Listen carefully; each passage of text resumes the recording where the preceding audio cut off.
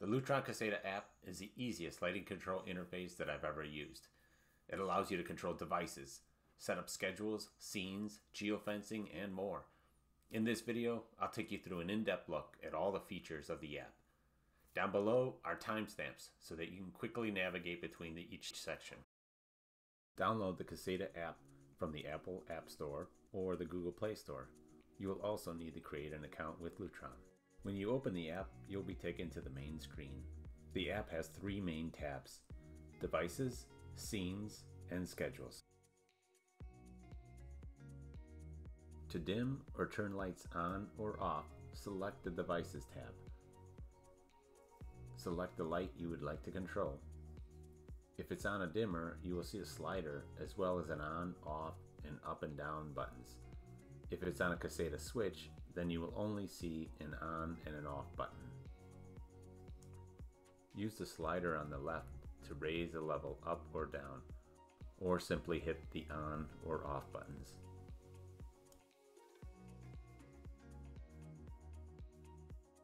To create a scene, select the Scenes tab. Click Add Scene.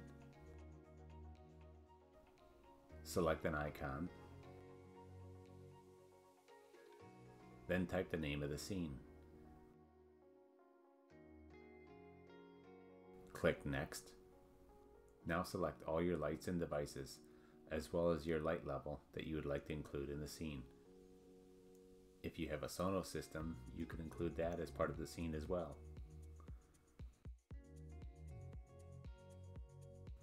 Then hit Done.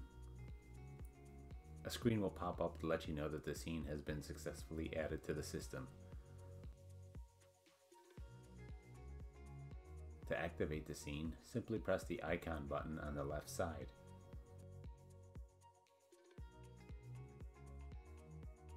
If you'd like to edit or delete the scene, press the pencil on the right side. If you'd like to add or edit devices, press Devices. You will be brought back to the same screen where you added the lights previously. Click Save if you've made any changes or hit the X in the top left corner if you want to go back to the previous screen. If you no longer need the scene, you can delete it by clicking the red Delete Scene text. A pop-up will ask you to confirm. Click Delete Scene and the scene will be removed.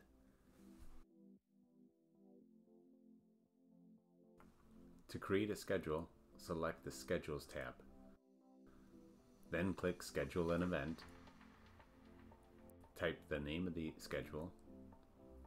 If you'd like the schedule lights to come on and off, you'll have to create two schedules, one for an on event and one for the off event. Keep that in mind when you name your schedules. Click Next. Select the days that you would like this event to occur. By default, it has all seven days selected. Click Next. Now select the time that you would like this event to trigger. You can select the time of day or sunrise or sunset. It even lets you select an amount of time before or after sunrise or sunset. For this example, we want our lights to come on at sunset. Click Next. Now select the lights and make sure that they are all set to on or a specific light level.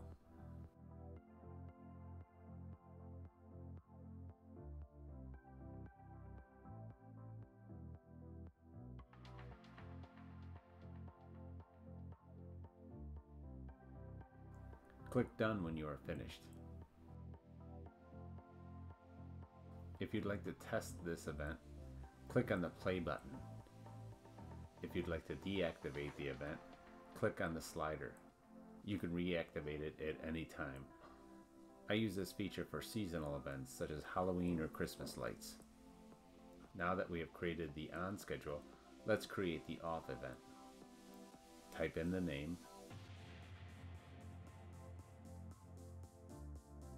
Click Next. Select the days. Click Next. Now, for our off schedule, I will select a specific time, but you can select sunrise too. Click Next. Choose your lights and make sure they are set to off.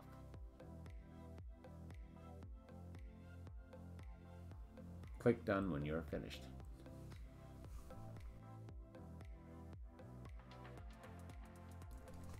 It may take a few minutes for your new schedule to upload into the bridge. Here's a scheduling tip. When I set up a customer's system, I always create a sunrise event that turns off all lights. Even though there may already be a schedule to turn lights off, I like to add another lights off event at sunrise as a backup in case someone turned one of the lights back on.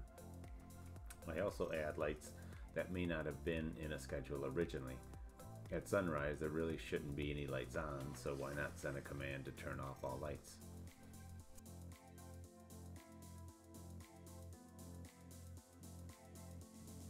To edit or delete a schedule, first click on the schedule name. To change the lights or light levels that are in a schedule, click on the device's text. Select the lights and levels that you would like to change. Click Save when you are done.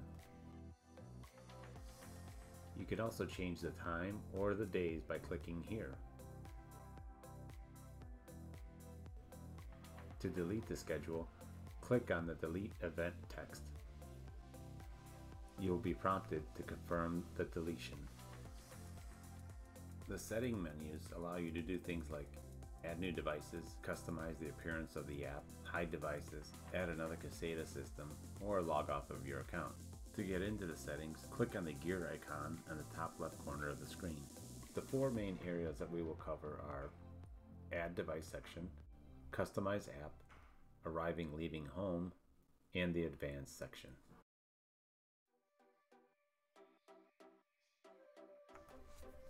The Add Device menu allows you to add new Caseta and Pico devices. Under Add Device, it will show you how many Lutron devices you already have on your system. Currently, the limit is 75 devices. Click Add Device and it will bring you to this screen. Here, select the type of device you are adding. For this example, I will add a Pico keypad in my office to control a plug-in module. Next, I will press and hold the bottom button on the Pico for 10 seconds. Now I will select the room that the Pico is in. Then you have a choice of lights or shades. This Pico will control lights, so I will keep the default lights selected. Now, if you'd like to add another device, select Add Another Device. I only need to add one Pico now, so I will select I am done adding devices. After the system finishes uploading, it will return you to the main page. Now that we have added the Pico, let's make sure that it's controlling the correct light. Click on the Pico, click Edit Device, click on Devices. Now scroll down and double check that the office lamp is the only one that's checked.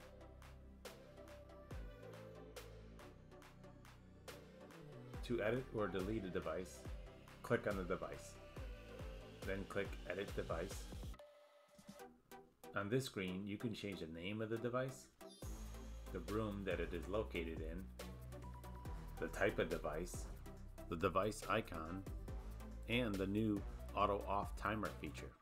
None of these settings affect the actual load that the Caseta dimmer or switch control. You can also delete a device from this screen. The new auto off timer feature allows you to turn the device off after a certain amount of time. Click on the device that you'd like to add the timer to. Click on Edit Device. Click on Auto Off Timer. Then select Enable Timer. You can set the auto off timer between 1 minute and 4 hours. In this example, I'll set it for 30 minutes. Now, anytime that exhaust fan is turned on, it will automatically turn off after 30 minutes. Lutron's wireless motion detector allows you to trigger lights to turn on and off. To edit, click on the motion detector icon. From this screen, you can test both the on and off event. Click on Edit Device to go into Settings. Similar to other devices, you can change the name and the room the motion detector is located in. Here, You can choose which devices are going to be turned on and off when motion is detected. When you click on the devices to include, it will display a setting for auto on, this is when motion is detected, and auto off. This is triggered after no motion has been detected for the length of the timeout period. When you select a device, the default will be to turn the device on when motion is detected and off after the timeout period. To change this, simply select what you want to happen when motion is detected and what you want to happen after the timeout period. You can turn a device on, off, set it to a dim level, or have it unaffected. For example, if you wanted to have a motion detector just turn lights on, but not turn them off, you can select on for the auto on and unaffected for the auto off. The sensitivity and timeout settings are on the back of the actual motion detector and not in the app. It also allows you to group multiple motion detectors together. This is very useful for large areas. For example, I have multiple motion detectors in my garage that turn lights on and off. I have one motion detector close to the door so that it triggers immediately when I open the door, and another motion detector in the main garage area so that the lights won't turn off if I'm working in there. You can set the time that you want the motion sensor to automatically turn lights on and off. The app allows you to adjust both the auto on sensing and the auto off sensing. You can select all day, only at night, or a specific start and end time. By default, both auto on and auto off are set to all day motion sensing. Lutron recently released a new Diva style dimmers that worked with the Caseta system. These dimmers are amazing. They added features not available on the regular Caseta dimmers like the ability to use a mechanical three-way switch, they turn on to the preset dim level, double tap to full brightness, and they have an off timer. If you edit a Diva dimmer, you'll see three additional advanced settings, trim, fade, and status LEDs. The trim level allows you to set the high-end and low-end trim settings. If your LED lights are turning off at the low dim setting, then you'll have to increase your low-end trim until they turn on. Once you adjust the low end trim setting, press the test and save button, and it will turn the lights off and then back on to the new low end setting. If your lights are still not turning on, then increase the low end setting and press test and save again. You may have to repeat this a few times until the lights are set the way you want them to. You could also set your high end trim to a lower setting than 100% to save energy. The status LED section allows you to set how the LEDs in the right slider behave when the slider is on and off. I keep both settings to on. When the switch is off, the slider LEDs are dim but bright enough to find the switch in the dark. The fade setting allows you to set both the fade on and fade off times, anywhere from a quarter second all the way to 15 seconds. Fade time only works when directly controlling it from the Diva dimmer or the Pico Paddle remote. Click on Customize App. The home screen can be customized to separate the devices into rooms or display all the devices. Here's what the layout looks like with the showroom selected. Here's what it looks like with showrooms off. You can also have your favorite devices listed on top. Here's what it would look like with show favorite devices on.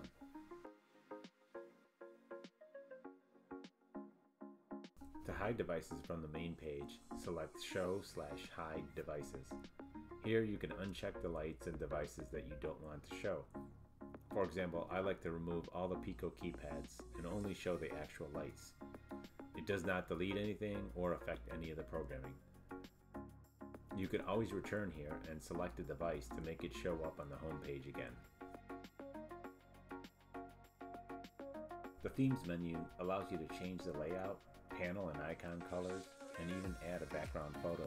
The default is a white panel color, but I prefer the black.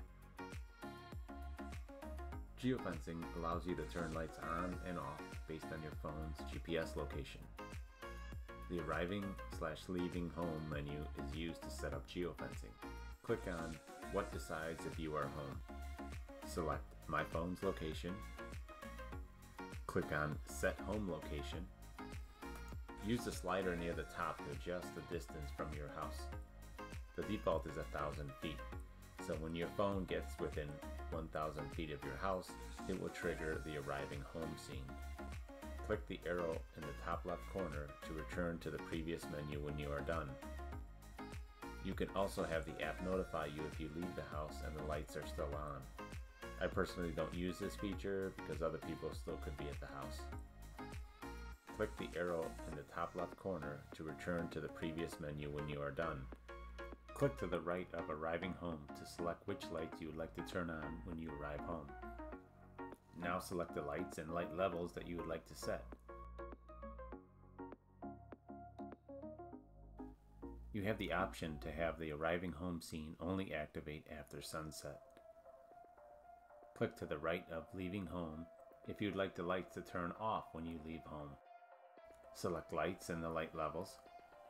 The Leaving Home scene does not have the option of only triggering after sunset. It will always trigger when your phone leaves the coverage area. SmartAway allows you to have lights randomly turn on and off to make it look like someone is home. SmartAway can be activated manually or automatically when your phone leaves the coverage area. You can set a start time and an end time. Click Lights to Include to select the lights that will be randomly turned on and off. Next, select the lights. You can't select dim levels. The lights will come on at full brightness. Click Save when you are finished. Now click on Start Time and enter the time that you would like the Random Lights feature to start. Do the same for the end time. Currently, there is not an option to select dusk or dawn. You must select a specific time period. Click the arrow in the upper left hand corner to return to the previous screen when you are finished. Next, we will cover the Advanced menu. Click Advanced. At the top, click Integration. This will allow you to select Telnet support if you are integrating to a third-party controller. Note, this is only available on the Bridge Pro, so you may not even have this option in your system. Under Connections menu, you can see the current connections linked to your system, such as Google Home, Alexa, or Ring doorbells. Under Network Settings, you can either select a specific IP address for your Lutron bridge or leave it at the default DHCP setting. Normally you would just keep it as DHCP unless you have a third-party controller that needs a specific IP address that doesn't change. The Time and Location menu will show you which time zone you're in and your longitude and latitude. The Range Extender menu will show you if you have a range extender and or a plug-in dimmer that is acting as a range extender. We put both a range extender and lamp module in most installations. If you have multiple plug-in dimmers, the system will automatically select the first one installed. Unfortunately, you cannot change this in the range extender menu. In order to change this, you would have to remove the other plug-in dimmers from the system, make sure that the app selected the one that you want to use, and then re-add the other ones back in. To learn more about the Lutron Caseta system, check out these videos.